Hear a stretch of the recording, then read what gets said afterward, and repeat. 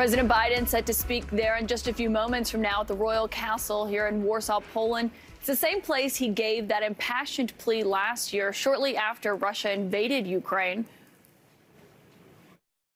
Ukraine will never be a victory for Russia, for free people refused to live in a world of hopelessness and darkness.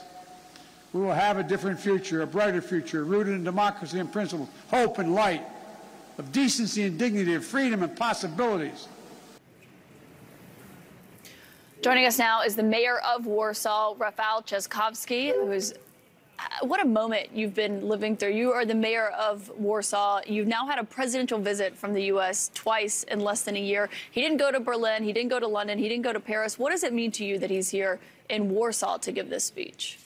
Well, it's incredible. Of course, the times are very difficult, but it's very important that the President of the United States is in Poland again because it means that we are safe, you know, because with him, he brings those guarantees of security. And of course, it is immensely important for us that he was in Kiev, that he showed so much courage, and that the United States of America is ready to help.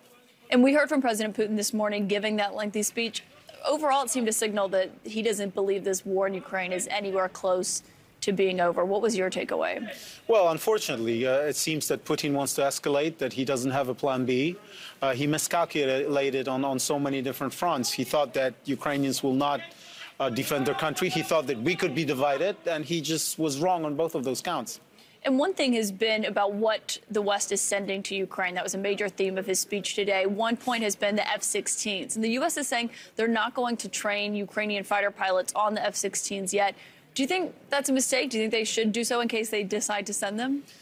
Well, it's complicated, but the most important thing is that every taboo has been broken because I remember these conversations a year ago, and many people were saying we shouldn't be sending uh, heavy weapons, we shouldn't be sending tanks, and then it turned out that uh, that uh, America and other European allies decided to uh, actually help Ukraine because Ukrainians are fighting for our security, so we need to help them as much as we can. And when you say our security, you, this war is on your doorstep. What does that feel like?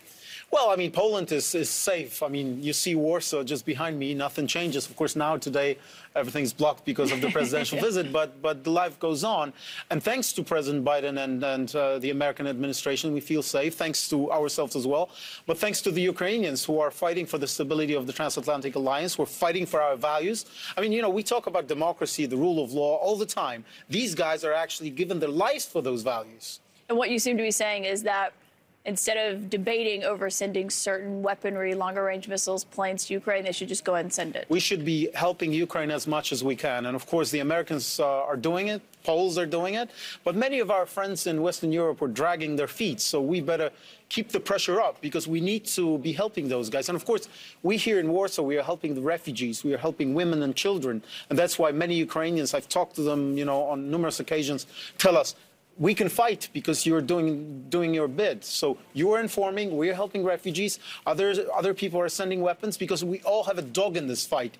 Because every dictator, every crazy dictator in the world is watching whether the West can be united, whether we can be strong, and whether we can deliver. We're a year into this war, and Poland saw the most refugees out of anyone. A lot of them came through Poland, went to other places, but many still live here, over a million in Poland. Hundreds of thousands still live in your city.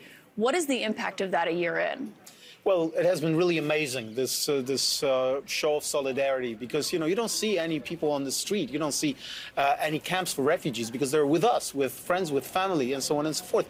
And I'm absolutely uh, certain that we will get enriched by all of that. There is a silver lining on that on that cloud because you know Warsaw was one of the most diverse cities in between the wars, and of course after the Second World War it was changed. Now we welcome these Ukrainians here for a while, maybe for a longer and we feel enriched. And one thing we've seen Polish President Duda call for other officials here in Poland is a bigger American presence here, a more permanent presence here.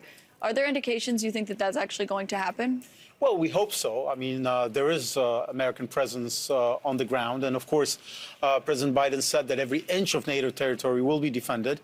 Uh, and it, first of all, makes us feel more secure, but it also sends a very strong signal to the Russians that they shouldn't move any further and that by the way, they should start moving out of Ukraine because the West will be together, will be strong. Next batch of sanctions are being prepared.